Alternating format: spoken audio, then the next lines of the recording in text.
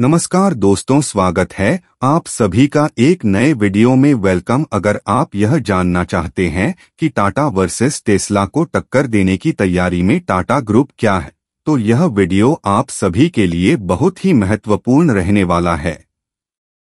Tata Motors की योजना देश में किफायती इलेक्ट्रिक कार बनाने की है।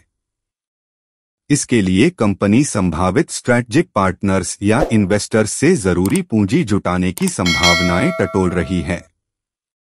दुनिया के तीसरे सबसे बड़े रईस एलन मस्क की electric car company Tesla Bharat में अपना कारोबार शुरू करने जा रही है। कंपनी ने भारत में स्टाफ की भर्ती भी शुरू कर दी है। कंपनी की नज़र दुनिया में तेज़ी से उभरते इंडियन कार मार्केट पर है। इस बीच टेस्ला को कड़ी टक्कर देने के लिए देश की दिग्गज ऑटो कंपनी टाटा मोटर्स ने भी अपनी तैयारी शुरू कर दी है। टाटा मोटर्स की योजना देश में किफायती इलेक्ट्रिक कार ईवी बनाने की है। इसके लिए कंपनी संभावित स्ट्रेटजिक पार्टनर्स या इन्वेस्टर्स से ज़रूरी पूंजी जुटाने की संभावनाएँ टटोल रही है। मामले की जानकारी रखने वाली शीर्ष अधिकारियों का कहना है कि अभी इस बारे में शुरुआती बातचीत चल रही है। पिछले साल मार्च में टाटा मोटर्स के बोर्ड ने पैसेंजर व्हीकल बिज़नेस को अलग करने की योजना को मंजूरी दी थी।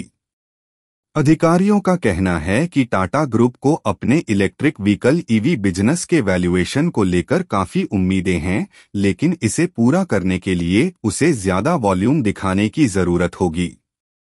ऐसी रिपोर्ट्स हैं कि टाटा मोटर्स ने चीन की दिग्गज ऑटो कंपनी को पैसेंजर व्हीकल बिज़नेस में स्ट्रैटेजिक पार्टनर बनाने के लिए बात की है।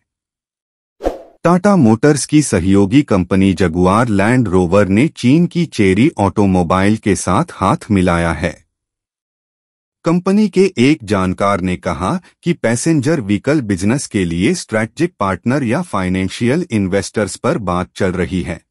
और इलेक्ट्रिक व्हीकल सेगमेंट को ग्रोथ का मज़बूत इंजन माना जा रहा है। माना जा रहा है कि मॉर्गन स्टैनले और जेपी मॉर्गन को प्रस्तावित योजना के लिए इन्वेस्टमेंट बैंकर बनाया गया है।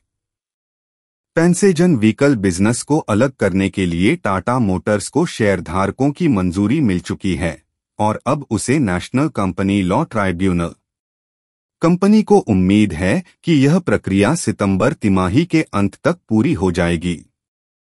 रिलायंस सिक्योरिटीज के head of research Mitul Shah के मुताबिक टाटा मोटर्स स्ट्रेटजिक इन्वेस्टर्स से साझेदारी की तलाश में है। कंपनी अपना कर्ज कम करना चाहती है और अगले दो से तीन साल में यह ज़ीरो पर आ सकता है।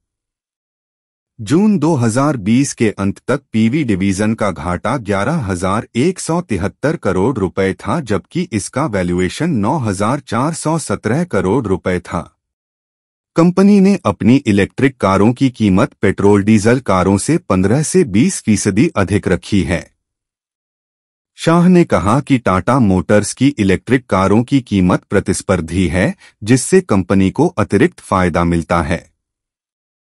टाटा मोटर्स ने कहा कि इससे टाटा ग्रुप की अन्य कंपनियों जैसे Tata power, charging infrastructure, Tata Autocomp battery pack chemicals, lithium ion cell और Tata finance finance financing option को फ़ायदा होगा। मुझे उम्मीद है कि टाटा वर्सेस टेस्ला को टक्कर देने की तैयारी के बारे में पता चल गया होगा। अगर आपको इसके अलावा और भी सवाल है तो आप हमें कमेंट में बता सकते हैं। मैं आपका सवाल की पूरी रिप्लाई देने की कोशिश करूँगा।